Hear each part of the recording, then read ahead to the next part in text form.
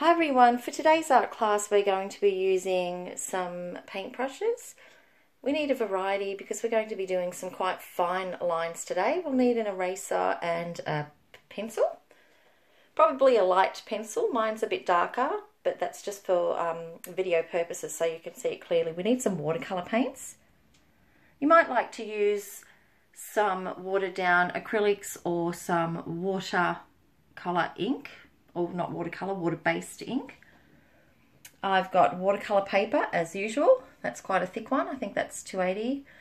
Uh, we've got some jars of water, a paint palette, and just some tissue to pad up any puddles that we might create or anywhere where we might like to create lighter spaces.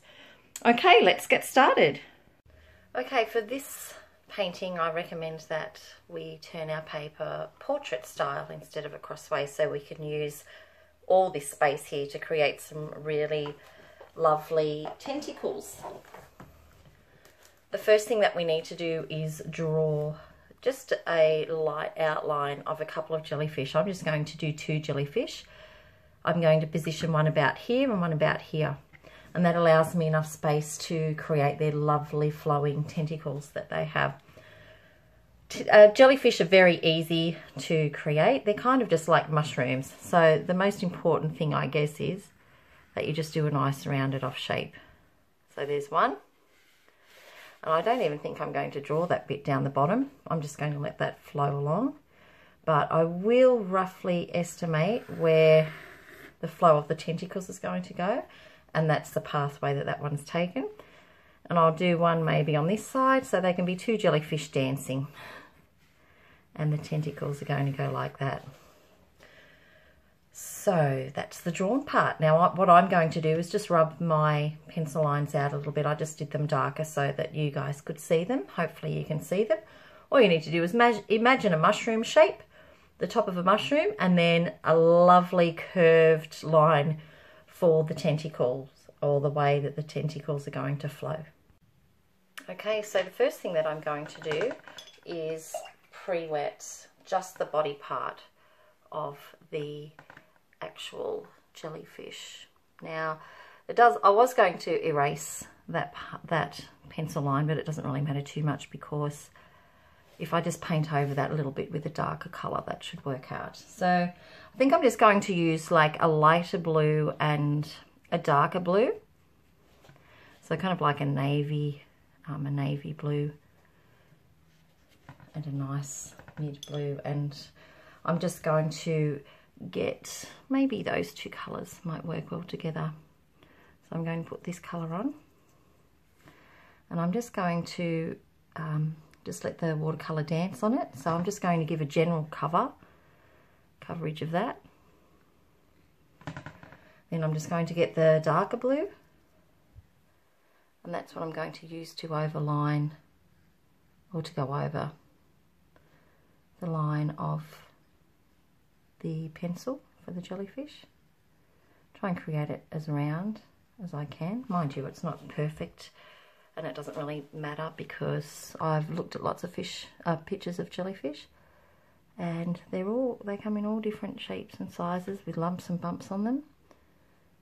So I'll just continue doing this colour over the top. Now what I'm actually going to do is use this same colour like under underneath the jellyfish. So just maybe do a few more dots there. I may be inclined to add another colour, another blue to that. Oh, I like how that just went then. Um, just make that create a little bit more. That looks pretty good. I like this movement over here. I might see if I can add one more colour to that.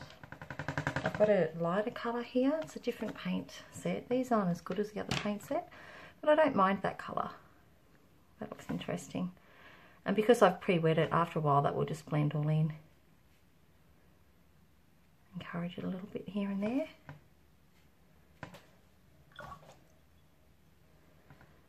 Try and blend those things out, so I'll put a little bit of water in the middle there.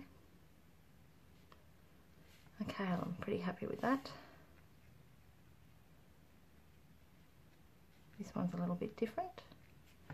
That's okay. Right now what we have to do is let those dry. So I'm going to press stop and I'll come back once this is dried.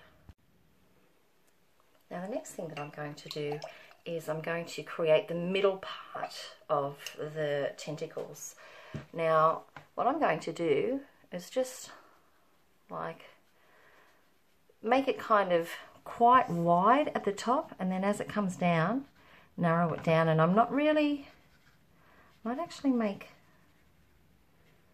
oh that's okay so I'm just painting across ways and what I'm going to do is just choose again a couple of the different colors I might start with the lighter one. So I'll use this blue here. And I'm just going to that went really quite thick. So that's probably maybe a little bit too much um, water in that one. Alright, so I'll leave that like that up the top and I'll just maybe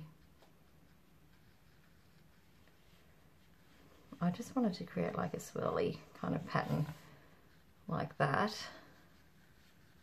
But I actually wanted to leave a bit of space for the other colours to come in so maybe that's totally ruined it. Anyway we'll give it a go. So I haven't got as much water on this one. Oh that's the effect that I like. So I'm doing some swirls around here.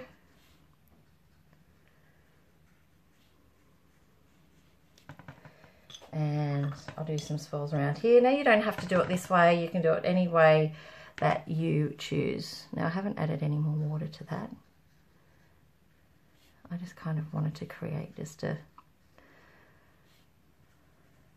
just like a thicker tentacle. So I might just make that kind of join up there so it looks like it's coming from underneath that.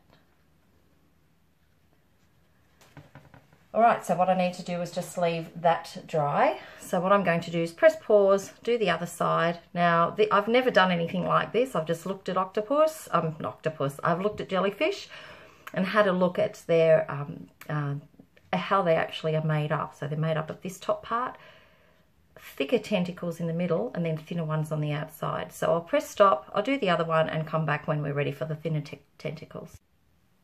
Okay, so the last thing that we're going to do is paint the tentacles and for this one we'll need a fairly fine brush. I'm not quite sure which brush is going to work the best. we also want to make it uh, quite a, a dark um, quite dark tentacles so they kind of go over the top of that. Now in hindsight I probably should not have wet pre-wet this before I put the paint over the top because it didn't really give me the look I wanted. I wanted to look more like this. But as I said, first time I've done something like this. So it's all about experimenting and playing and having a bit of fun. So I'm thinking the colour that I might use is this darker one. Now I'm hoping that it comes out reasonably fine. And I, what I'm going to do is just do like um, the finer tentacles coming from underneath the body. So that's good. That's the look I like. And I don't mind that it tapers out down the bottom there. So this is what we do over the whole lot. I might just redefine this a little bit more actually, just so it looks like we can see a little bit of the underbelly of the jellyfish. So these are the tentacles that are in the front. And I'm not going to show you me doing this whole thing. So what I will do, I'll press pause or stop and I will finish the painting of the tentacles of this guy and this guy. Now I've painted the front ones and what I'm going to do is let those dry and then I'm just going to paint some tentacles that look like they're coming from the back. So I need a few tentacles coming this way from this one and a few maybe kind of floating away that way so it looks like it's movement in the water. So I'm going to press stop and continue and I'll come back when I've done that. Okay, so what I've done, I've just repainted up the top of the body a little bit darker and I'm just putting some, I am actually using some of this water-based ink just to give um, my little guys a little bit of uh, light dappling on the top of their um, on the top of their bodies. So that one didn't come out too great. I think it dried up quite a bit. But anyway, much happier with this top of this guy and I'm much happier with this middle part of this guy and the tentacles on this. But there we have it. it's all finished. Now, as I said, this is my first one. I think I'm going to have another try so I can get in the middle, the middle thick tentacles a bit better. And some of these tentacles here, I actually made too wide. I mean, I could pick it to bits, but the reality is that I had loads of fun giving it a go. So this will actually make me want to do it again and see if I can get some of those things that I wasn't happy with this time make me a bit happier with the finished product. But still another another thing to learn and it's all in enjoying yourself and having fun while you do it. Now one thing I did forget to do was do the splatters just like I did with my whale and like I do with all my whales. So I'm just getting that fine that fine paintbrush, making sure there's enough water in that actually. And I'm just going to flick so I flick away first. This is the same effect that we have used before on our nebula. I've used this effect when um, when we've done some of the whales. I want a little bit down, more down near their tentacles because that will look like that's creating a lot of movement. So the tentacles are creating, you know, bubbles in the water when they move. Okay, so there we have it finished. I'll take a photo of him and show you the finished product.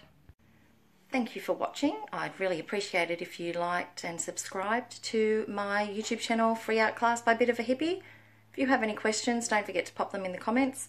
Also, we have a free art class Facebook page where you can pop any of your pieces that you've created using my YouTube videos. Love to see them there. Thank you for watching and I'll see you guys next time. Bye.